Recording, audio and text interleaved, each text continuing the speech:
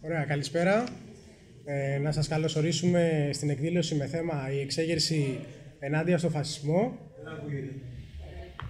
Να σας καλωσορίσουμε στην εκδήλωση με θέμα η εξέγερση ενάντια στο φασισμό. Ε, αυτή η εκδήλωση δεν αποτελεί ένα μονομένο ξεκομμένο γεγονός, αλλά έρχεται σε συνέχεια άλλων εκδηλώσεων τοπικών όπως το Εργατικό Κέντρο του Πειραιά, ε, διάφορων κινητοποιήσεων, διαδηλώσεων, συγκεντρώσεων, εξομίσεων σε σχολεία, σε εργατικούς χώρους, σε γειτονιές, ε, στην ευρύτερη περιοχή του Πειραιά, όπως αυτή ορίζεται από τα ενεργά γραφεία της χρυσής αυγής στο κέντρο του Πειραιά, στο Πέραμα, στη Σαλαμίνα.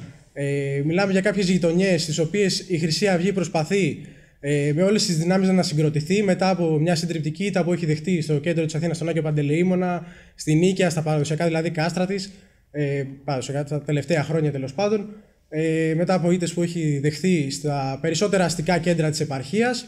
Ε, τώρα όλες τις τις δυνάμεις έχει προσπαθεί να ανασυγκροτηθεί σε αυτές τις ε, περιοχές, πατώντας σε κάποιες αδυναμίες του κινήματος, πατώντας σε κάποιες ιδιομορφίες ε, τοπικών γειτονιών.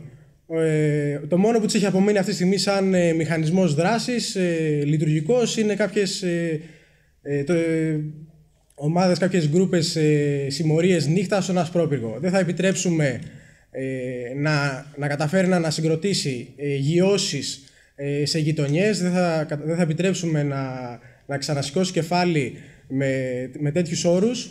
Ε, δεν θα επιτρέψουμε κανέναν νέο Άγιο Παντελεήμονα. Όταν θα, όταν θα επιλέξει, όταν θα μπορέσει όταν θα προσπαθήσει η Χρυσή Αυγή να αντεπιτεθεί, δεν θα πρέπει να έχει καμία γειτονιά με το μέρος της, δεν θα πρέπει να έχει κανένα μέρος στο οποίο μπορεί να σταθεί.